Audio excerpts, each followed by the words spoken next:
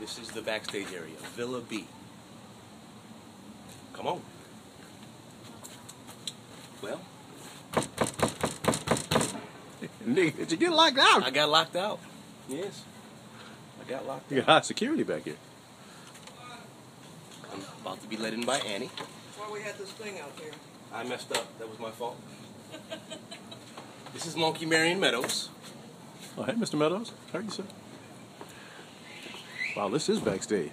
Mm-hmm. Wow, look how he walks when he's not on stage. Very sexy. Very sexy. Mm. Okay. Follow me. This is Monkey Paul Taylor. Wow, that's What's a great going Paul on? Taylor. Welcome, welcome to my crib. Wow, this Newport is Beach. this is wonderful, Mr. Taylor. Five level upstairs, Wow, downstairs. this is how it is when you're backstage and you This is it. you bring your own place. So shall we go upstairs or downstairs first? Just show me what, what I've never seen backstage. This is Monkey Vince Ingala. Hey, What? man, how you doing? Good to see you. Thanks for letting me in, man. Absolutely. Great. That's the This is great Vince Ingala.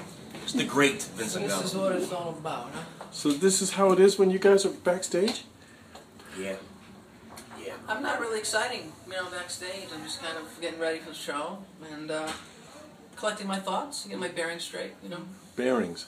Okay, Think and this about what notes I gotta do. what's Come on. that's amazing. Follow me. Follow me. Follow me.